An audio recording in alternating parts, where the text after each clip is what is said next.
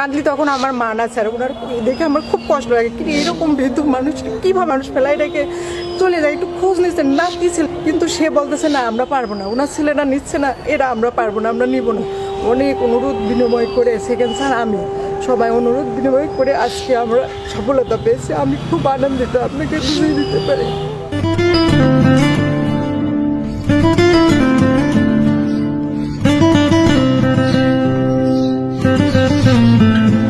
প্রিয় দেশবাসী, আজকে আমরা প্রথমেই স্রষ্টার কাছে শুক্রিয়া জানাই যে আমাদের একজন বৃদ্ধ মা বলেন বা চাচি বলেন বা দাদি বলেন, যাই বলেন, সে এই ইন্ডিয়া বর্ডারে এসে হারিয়ে গিয়েছিল। হারানোর পরে আমাদের এই মহেশপুর বাস স্ট্যান্ডে ঘোরাফেরা করতেছিল। সে এলাকা বা মানুষ চিনতেছিল না। মামুন গাড়ির কাউন্টার মাস্টার, হানিফ ভাই, সে আমাকে জানায় এবং এই মহিলাকে আমরা আমাদের থানা হেফাজতে রাখি। তার কাছে আমরা কিছু শুনতে চাবো এই ঘটনাটি সম্পর্কে। গত তিন দিন আগে এই বৃদ্ধ মহিলাটি মহেশপুর বাস স্ট্যান্ড চত্বরে যখন ঘোরাঘুরি করছে আর বারবারই আমাকে বলতেছে যে আমাকে গোপালগঞ্জে পৌঁছায় দাও আমাকে গোপালগঞ্জে পৌঁছায় দাও। উনি বারবারই কান্নাকাটি করছে আমাকে পৌঁছায় দেন। এমত অবস্থায় আমাদের মহেশপুর থানার অফিসার ইনচার্জ সেলিম মিয়া সাহেবের স্বর্ণাপন্ন হই। তিনি মোবাইল নাম্বার বলতে পারতেছিলেন না।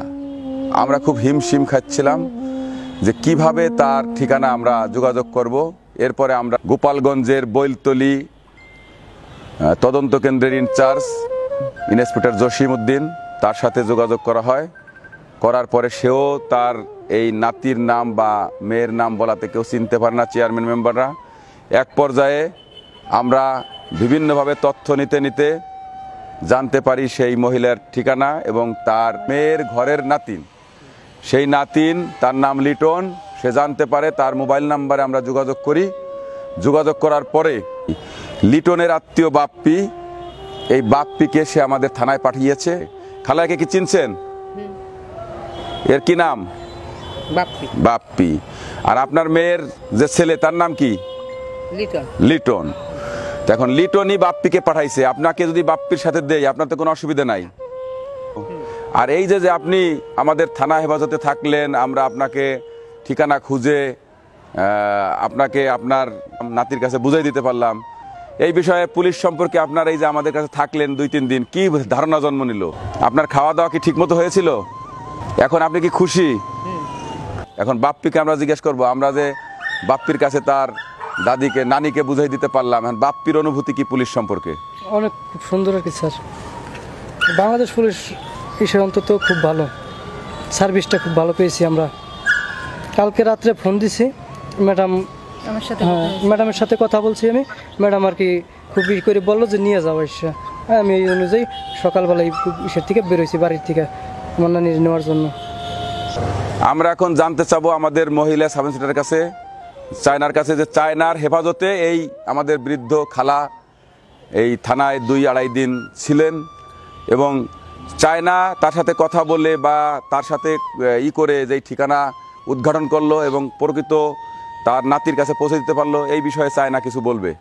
স্যার, আমি প্রথম দিন যখন আপনার কাছে এই হানিফ ভাই নিয়ে এসে দেয়, তখন আপনি বললেন যে আপনার, তোমার ডেস্ক অফিসে রাখো।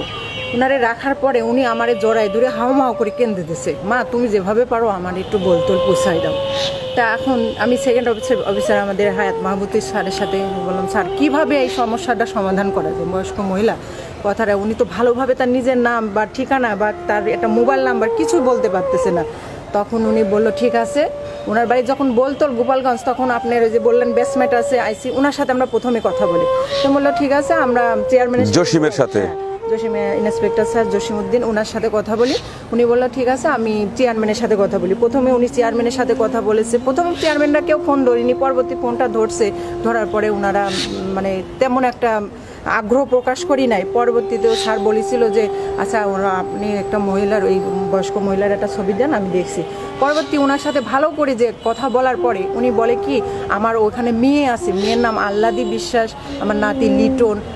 এই বলার পরে তখন বলে তাহলে গ্রামের নাম কি? বলে শেওড়া বাড়ি তখন আমরা ওই শেওড়া শেওড়াবাড়ি ওই সেকেন্ড স্যারের মাধ্যমে আমরা শেওড়াবাড়ির ওখান থেকে চৌকিদারের মাধ্যমে আমি ওনার ইয়ে, নাতির সাথে আমরা মোবাইল নাম্বার নিয়ে যেভাবে যোগাযোগ করছি। পরবর্তী যখন ওই নাতি ছেলেটা আসতেছে না স্যার তারপর ওনার যখন আমি প্রতিদিনই তো খোঁজ নিই উনি আমার প্রতিদিন ধরে হাওয়া করে কান্দে কাঁদলি তখন আমার মা না স্যার ওনার দেখে আমার খুব কষ্ট লাগে কিন্তু এরকম বৃদ্ধ মানুষ কীভাবে মানুষ ফেলায় রেখে চলে যায় একটু খোঁজ নিচ্ছে নাতি ছেলে কিন্তু সে বলতেছে না আমরা পারব না। ওনার ছেলেরা নিচ্ছে না এরা আমরা পারব না আমরা নিব না।